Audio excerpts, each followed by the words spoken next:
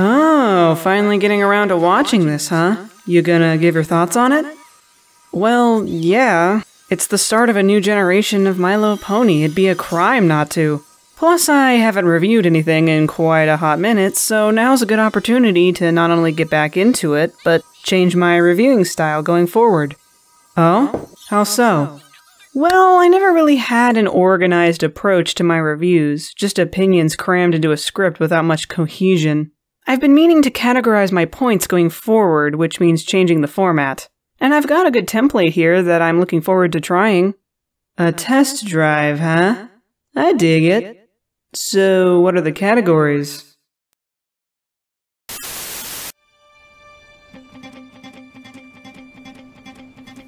Wait, we're gonna summarize the plot? I thought we weren't supposed to do that because every pony's already seen the movie.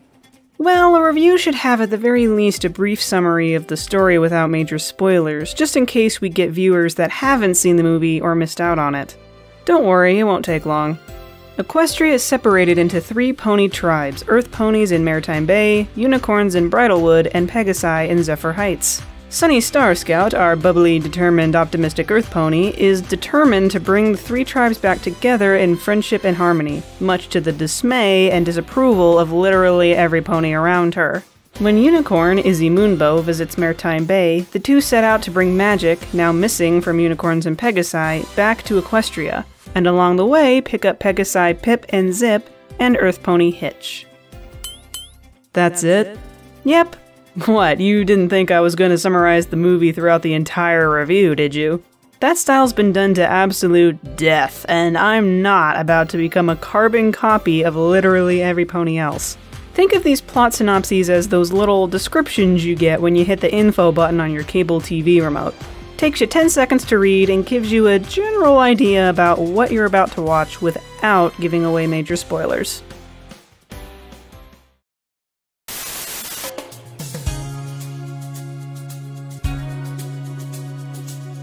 This is where I get into the nitty gritty of the movie. For sure, gonna be the longest portion of my reviews going forward. This is where I discuss the flow of the script, and more deeply the content therein, such as the plot, the believability of the characters, the humor, the pacing, that sort of thing. Can't wait to hear this. As far as a plot is concerned, it's not anything new. It's the typical kids' adventure plot of protagonist wants to make a change with the world against them. They go on an adventure, they pick up a team of comrades along the way, sad defeat, boss battle, victory, happy ending.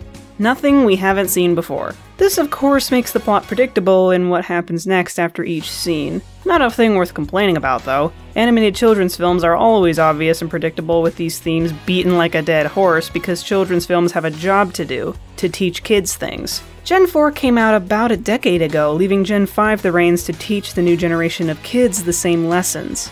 Okay, well, maybe not quite a new generation, but rather a new group of kids who didn't grow up with Gen 4. It wouldn't surprise me if all of Gen 4's morals get recycled in the Gen 5 series, and that's not a bad thing. We adult fans obviously get tired of shows treading the same ground, but remember this we are not the target demographic. We never have been. I've seen and heard lots of folks complain about how the premise of this movie is highly illogical because it makes all the progress of Gen 4 become completely undone. While it is true we don't get a backstory as to how things went back to the Three Pony Tribe's way of operation, we can't rule out the possibility of a villain being responsible for such a thing. And it's highly likely that the series will give us the backstory we're missing. And unfortunately, a social issue like racism sticks around pretty aggressively. In today's modern age, we still have to deal with racial prejudice despite the racism is bad lesson being repeated ad nauseum. So all of Gen 4's progress being undone, likely by one bad apple spreading fear-mongering propaganda, isn't as unlikely as one might believe.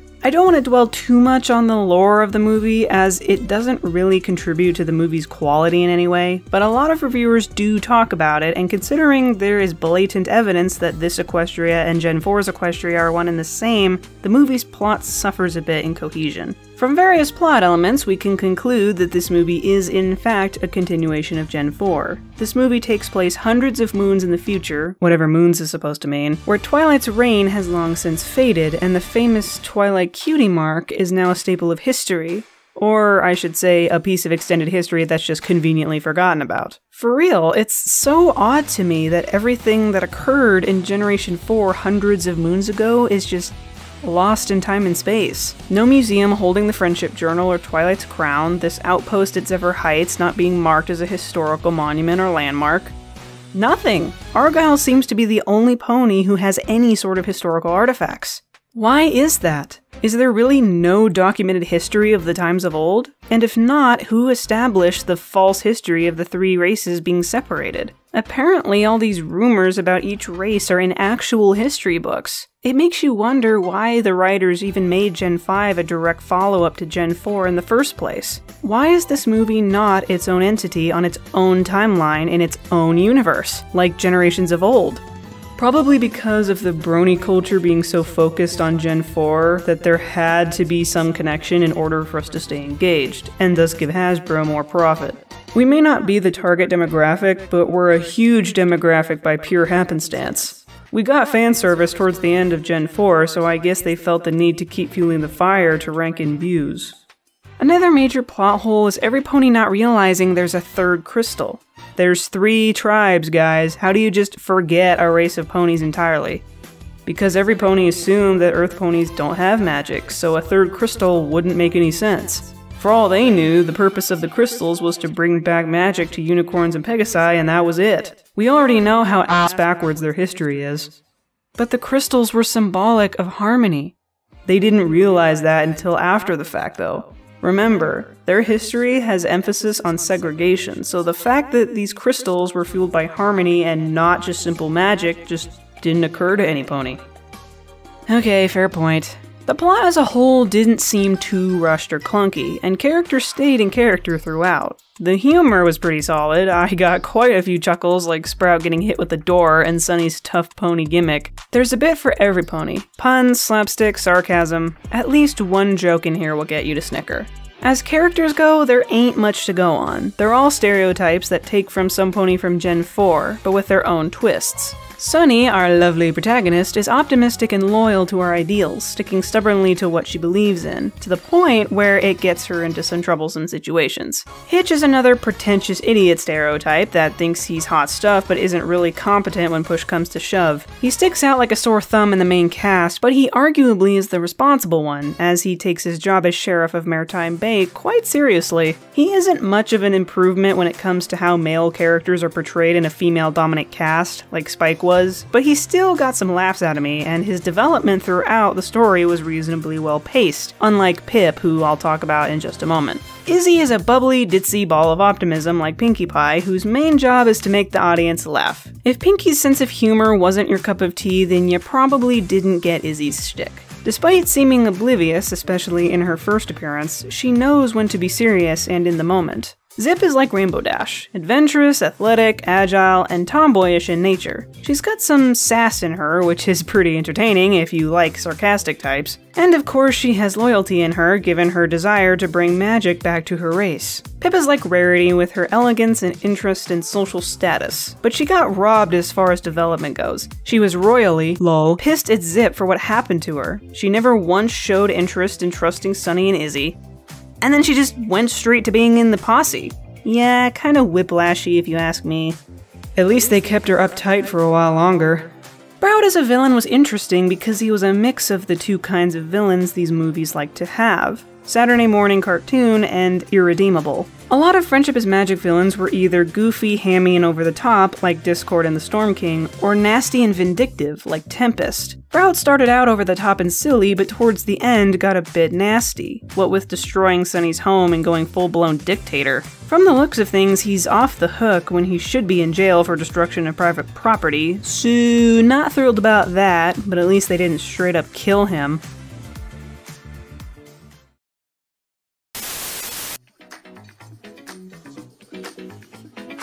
Nothing much to say on the acting. Each one embraced their characters well, especially those tackling more eccentric characters like Izzy and Sprout. Loving Kimiko Glenn's embracing of Izzy's bubbly nature and Ken Jeong's portrayal of a bratty villain.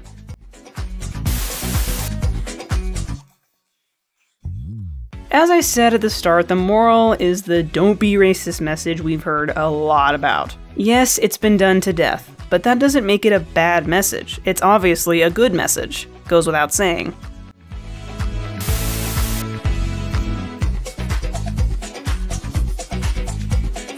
The movie was animated quite well, lighting and shadow effects being utilized perfectly, and expressive faces being animated. The songs were very pop-esque in nature, especially Glowing Up, so nothing super special there. The only exception was the villain song Angry Mob, which has more of a rock feel and is pretty out there, which is great. Kinda loving how the lyrics just got silly at the end, like the songwriter ran out of rhymes and just went, fuck it. I've had that and Fit Right In stuck in my head for days. And that about says all of what I observed from the movie. It's nothing special, it's not a work of art or anything unique for its time, it's just a cute, fun, little kids' adventure movie with pop culture references, silly jokes, cliche characters, and a predictable plot. That doesn't make it a bad movie though, it just makes it an okay movie.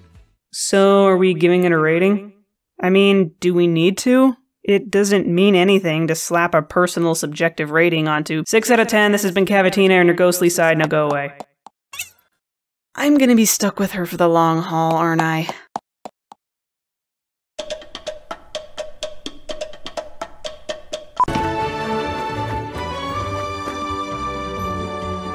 Oh, okay, so we're just giving Sunny's dad the AJ Parents treatment without batting an eye. Okay. Low, hitch it to a post, flip it sunny side up and on a piece of toast. So is that the new Pinkie Promise, or Security Guard Ponies meet Sunny Starscout? Now do your job. To the lighthouse! Uh, oh no! I appear to be trapped. Yeah, cause Hitch totally isn't gonna just push the button and let you out. Were you even paying attention? Citizens! Wow, they really went ham on the pop culture references, huh? This princess smells so cadieux.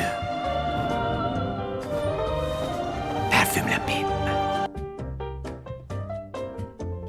Have you lost your mind? Please, this might be our only chance. Ugh, fine. Okay, plot convenience it is then. Ta-da! I so wish I had live streamed that. To who? Every pony hates you now.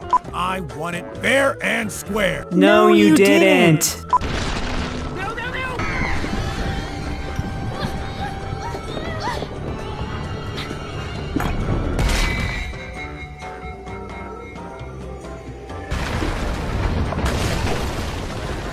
So, like, that's destruction of private property, so. Is this permanent or a power up like the rainbow magic? The horn and wings are see through after all. This map is interesting because we can theorize quite a bit on how the equestrian map evolved over the moons.